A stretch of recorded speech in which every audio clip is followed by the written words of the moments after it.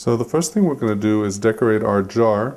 I chose pieces of paper that are green in color because I want to create like a grass effect and I'm going to put some of the petals around the jar.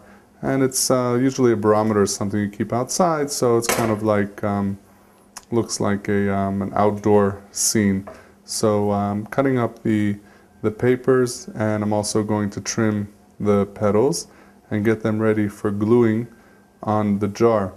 Now a jar, since it's made of glass, there are different types of paints that you can use to decorate the jar and become more artistic with it.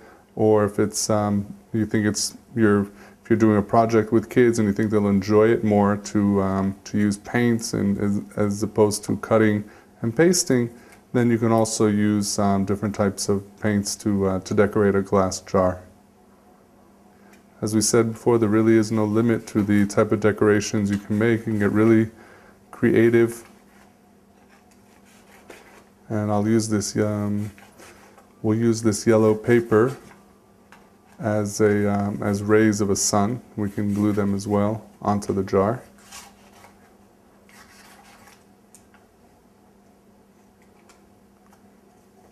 I'll use this paper, it has more of a bluer color to um, use it to put around.